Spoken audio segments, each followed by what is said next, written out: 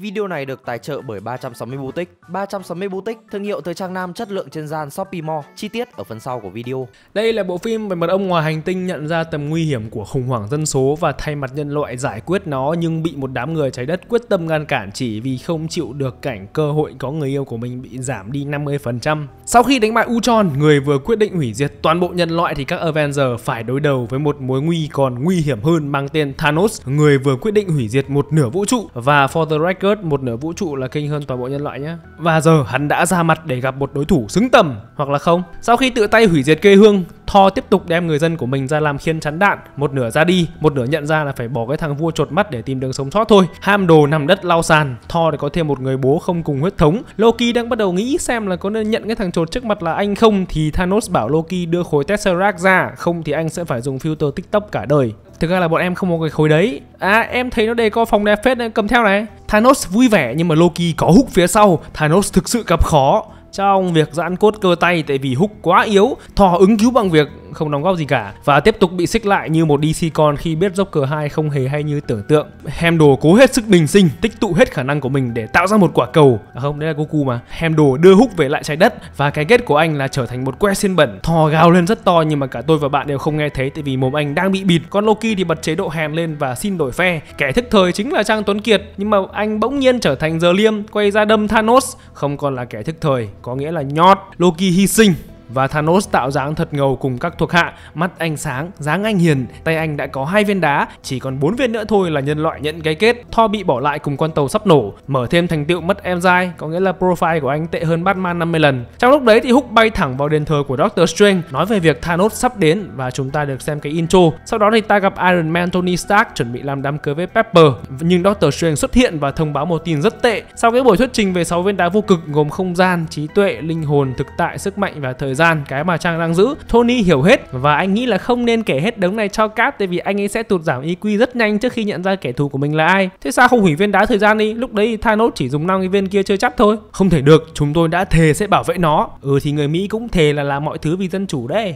Kế hoạch phá hủy đá thời gian là không thể nhưng mà người trái đất thì vẫn còn đá trí tuệ trên đầu Vision và chúng ta sẽ phá hủy anh ấy hoặc là tìm anh ấy ngay và sau đó mới phá hủy. Giờ thì Tony nên gọi cho Captain tại vì tình huống lúc này rất gay go rồi và chỉ Cap mới biết Vision đang ở đâu. Nhưng mà anh cần phải xử lý các vấn đề của mình trước, tại vì một con tàu lạ vừa hạ cánh xuống New York. Hai tên thuộc hạ của Thanos đến trái đất trước để lấy lại viên đá thời gian. Vì thấy bảo Sever trái đất là mềm nhất vũ trụ nên là không cần Thanos ra tay. Tony bảo Hulk hóa xanh, nhưng vì mới bị Thanos cho xanh cỏ nên là Hulk bảo thôi. Thế là Tony đành phải dùng bộ giáp nano tốn một nửa kinh phí CGI của mình ra và đối đầu với một cậu béo. Còn cậu gầy thì đấu với Doctor Strange và Wong, cả hai thua. Spider-Man đến cứu và ba người đều thua. Peter và Doctor Strange bị con tàu kéo lên, Tony bị thằng béo kéo xuống. Wong giúp Tony không bị kéo xuống nữa. Sau đó anh bay hết tốc lực lên con tàu. Tàu to nhưng mà Peter không vào được, cậu sắp trở thành tiểu John Doe. Nhưng mà Tony gửi bộ Iron Spider đến, Peter trở thành người sắt Junior và Tony mở dù của bộ giáp để kéo Peter ra khỏi con tàu. Về lý thuyết thì Peter sẽ bị thả về trái đất nhưng mà cái tôi của cậu thì không. Tony một mình vào trong con tàu. Vợ anh hỏi thế đám cưới thì như nào? Nhưng mà Tony bảo cưới con cặc. Thực ra là Tony không nói thế, anh bị mất kết nối thôi. Ở dưới đất thì hút gọi điện cho Cap và thời lượng cho trái đất đến thế thôi. Ngoài không gian, vệ binh ngân hà nhận được tin kêu cứu của người Asgard. Họ tìm được Thor, người chắc chắn tập gym đều đặn hơn Star-Lord. Mantis bật nhạc báo thức của Samsung và Thor tỉnh dậy. Anh được nhóm vệ binh cho ăn bát cháo không hành. Đừng ai nhắc gì về hành tại vì mồm anh này không lấp được nữa đâu. Câu chuyện về Thanos được kể.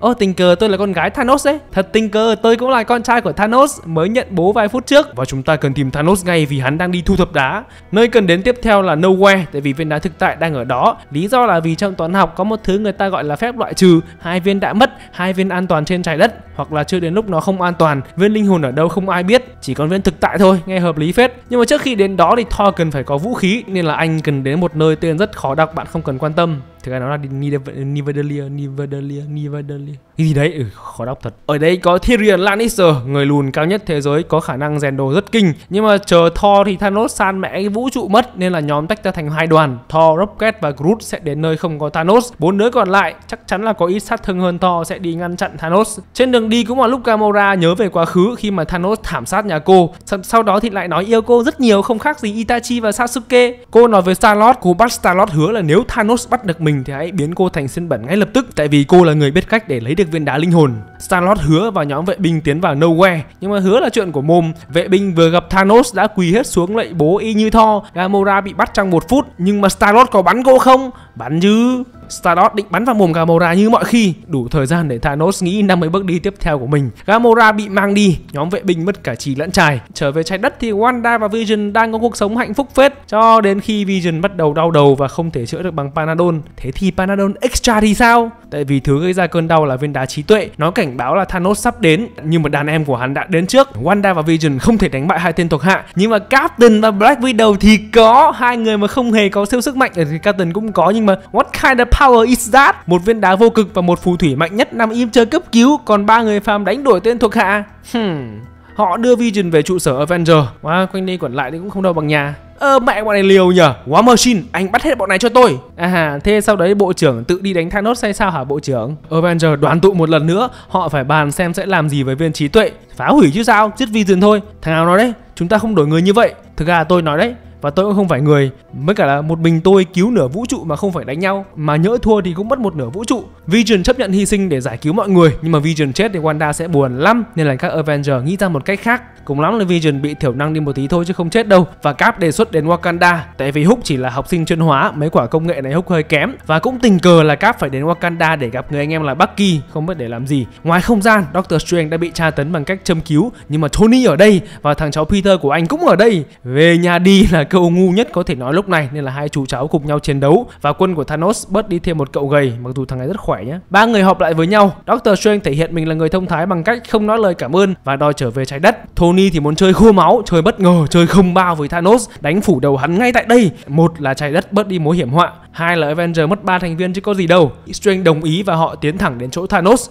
Người lúc này đang cố tra hỏi Gamora về vị trí viên đá linh hồn. Gamora không nói, cho đến khi Thanos lôi Nebula ra. Ngày xưa đây chén trả thế thôi. Bây giờ cũng chỉ chị em em, Gamora đồng ý dẫn đường cho Thanos. Ngược lại thì đừng mổ xẻ Nebula ra nữa. Tại vì phim này gần mark PG-13 hai người đến một hành tinh, ở đó có Resco kẻ thù cũ của Cap. Ông này giải thích rằng phải hy sinh người mình yêu nhất để đổi lấy viên đá linh hồn. Ha ha ha leo leo ông già, thôi rồi nhá, cả đời ông có yêu ai đâu. Học lóc cái gì? Thua rồi, về thôi. Ok địch trừ một Gamora cộng một viên linh hồn. Thanos đã có được viên đá thứ tư, chỉ còn hai viên của trái đất. Viên đá trí tuệ đã đến Wakanda. Ở đây có Shuri, người chắc chắn đạt điểm cao hơn Húc trong hỗ trợ khoa học và sẽ lo xử lý viên đá cho Vision. Đợi đến khi viên đá rơi ra, Wanda sẽ phá hủy nó ngay lập tức. Hàng loạt tàu vũ trụ chưa xin visa động ngoài Wakanda, buộc các Avengers phải xông ra ngăn chặn. Đối mặt với thuộc hạ của Thanos, T'Challa cười khinh ra mặt cho đến khi chúng nó gọi một loạt quái vật xông vào. Khiến Wakanda cũng mạnh đấy, nhưng mà bọn này giống như kiểu mấy con zombie trong I Am Legend ấy, lao vào chết như cả dạ để tránh chúng phân tán lực lượng ra xung quanh. Tờ Trai La ra lệnh mở cửa khẩu đón khách du lịch. Đại chiến Avengers và quái vật diễn ra. Captain đấm, Tờ Trai La đá, cậu mợ phối hợp bột một đẹp như Vini chọc cho Mbappe. Các chiến binh Wakanda tinh thần ngút ngàn, nhưng mà dân Wakanda từ lâu mang tiếng đẻ ít, dân số được vài mẩu, còn bọn kia thì xuất hiện liên tục không hiểu từ đâu ra. Avengers nhanh chóng thất thủ và đó là lúc Thor xuất hiện với cây rìu mới trong tay. Anh lấy nó ở đâu? Chắc chắn không phải ở cái ao nào đấy với ông Bụt. Thor đã đến hành tinh mà bạn không cần nhớ tên, gặp ngự thép xưa cuối cùng bởi vì Thanos đã thảm sát cả gia tộc của ông. Với chút sức lực cuối cùng mà hầu hết là công lao thuộc về Thor thì, thì Tyrion Lannister đã chế được cái lưỡi rìu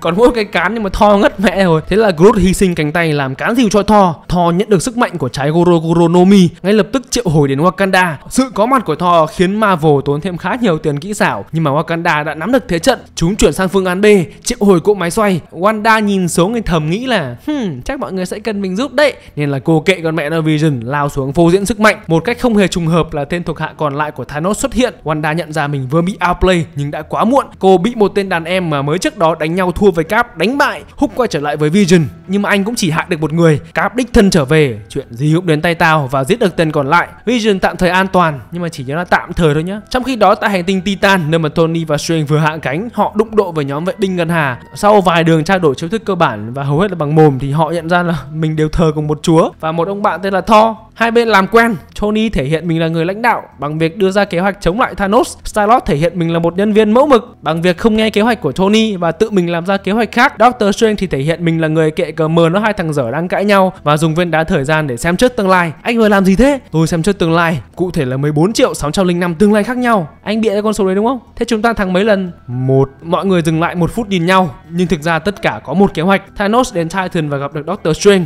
Hắn tâm sự với Doctor Strange về kế hoạch chi tiết của mình mình là làm biến mất một nửa dân số vũ trụ mà tôi không chắc là xuyên có hỏi về việc này hay không mà tôi khá chắc là cái việc thiếu tài nguyên không phải là vấn đề quá đông người mà là vấn đề logistics nhé. Nhưng mà các Avengers bắt đầu hành động lần lượt Tony, Peter, Drax, Star-Lord tất cả phối hợp nhuần nhuyễn như Ratatouille với một bó rau muống. Thanos bị Mantis khống chế, chiến thắng đã thuộc về các Avengers. Cho đến khi Star-Lord bắt đầu nhớ về cái khe nhỏ màu xanh ngoài hành tinh của mình và để cảm xúc chi phối, anh liên tục đấm vào Thanos mặc cho các đồng đội đang rất khó khăn để lấy cái găng tay vô cực ra. Thanos tỉnh dậy và toàn bộ kế hoạch đi vào dĩ vãng. Hắn sử dụng viên đá vô cực và từ thằng lớp 7 chuyển luôn sang thằng lớp 5, tung vài đòn là toàn bộ Avenger văng đi hết. Nebula thì cũng đến nhưng mà chỉ cộng một danh sách nạn nhân. Doctor Strange buộc phải ra tay. Anh dùng hết các loại phép thuật được học trong môn giải tích. Strange tung lôi độn, Thanos trả lại Rasengan. Strange dùng ảnh phân thân chi thuật, Thanos kích hoạt Shinra Tensei. Mẹ Shinra Tensei thì bố mới chịu rồi. Anh không ngờ mình phải đối đầu với Naruto và Madara at the same time.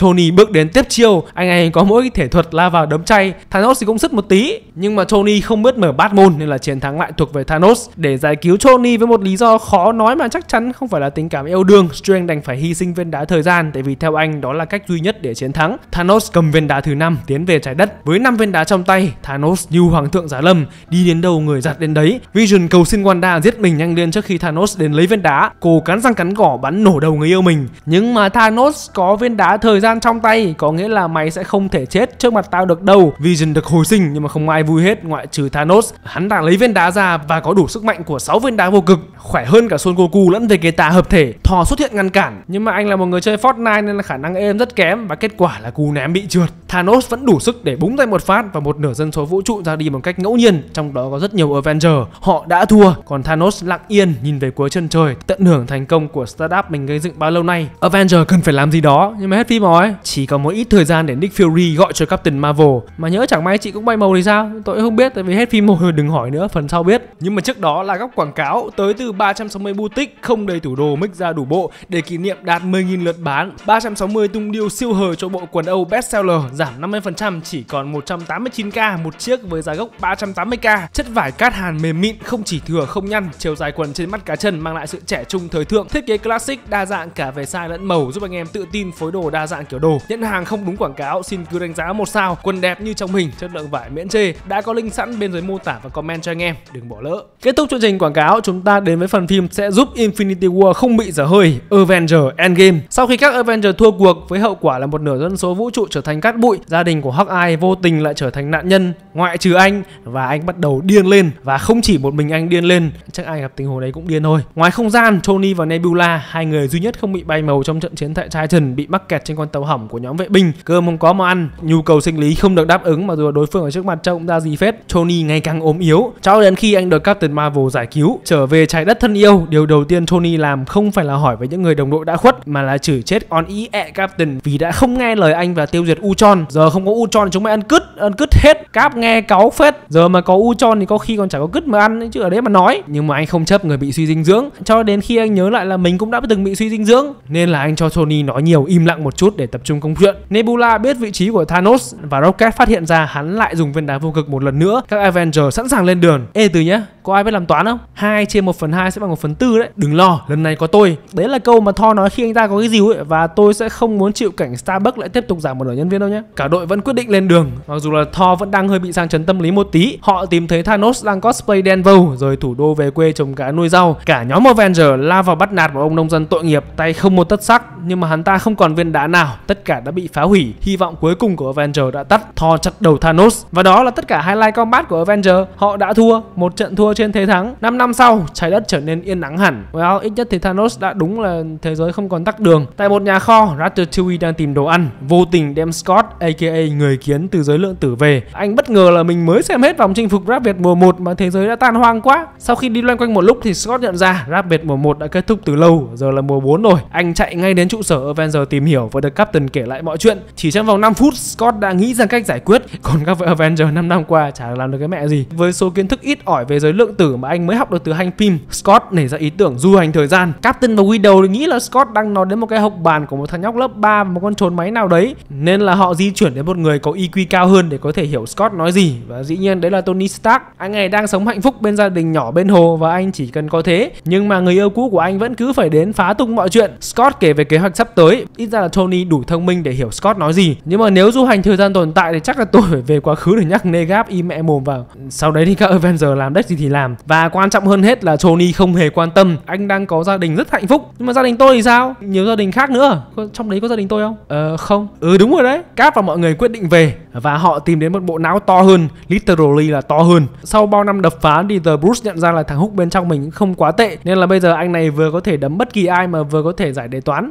Đừng, đừng lan man thì đừng lan man nữa. Thế anh có lo được vụ du hành thời gian không? Thực ra tôi cũng biết Blank nếu anh coi đấy là du hành thời gian. Nói chung là Húc cũng không biết anh là doctor hóa học chứ không phải là doctor Who. Trong khi đấy thì Tony đã bắt đầu nghiên cứu du hành thời gian rồi mỏ hơi hỗn tí thôi nhưng mà anh có thằng cháu tên là Peter khá ngoan và anh cũng rất muốn mang Peter trở về. Chỉ cần tốn 5 phút Tony đã chế được máy thời gian. Tony lên gặp con gái lần cuối. Cô bé bảo là hôm nay mẹ cho 5 ngàn, 2 ngàn mua kẹo còn 3 ngàn là yêu anh. Ý tôi là yêu bố ấy. Sau đó thì Tony ra hỏi vợ Em yêu super suit của anh đâu? Thế giới đang gặp nguy hiểm và họ cần anh. Thực ra Tony không nói thế. Tony quyết định đến trụ sở Avenger. Tại đây Hook và Scott vừa thử nghiệm thất bại. Hóa ra là Hook không còn quá thông minh như trước. Nhưng mà đừng lo tại vì không chỉ mình Hook là người thông minh nhất trong thị trấn. Chúng ta có Tony Tony và Tony đã chế ra máy thời gian, thứ sẽ không chuyển sinh bạn thành Slam trong lượng tử giới và vẫn có thể trở về an toàn. Anh trao lại cho Cap cái khiên gia truyền và chính thức chấm dứt ly thân. Các Avenger đã đến lúc tập hợp trở lại. Hulk và Rocket đến Asgard phiên bản cây nhà lá vườn để tìm Thor. Sau khi thua trận với Thanos, anh này bị trầm cảm sau sinh nhưng mà ngược lại, giờ anh là pro player Fortnite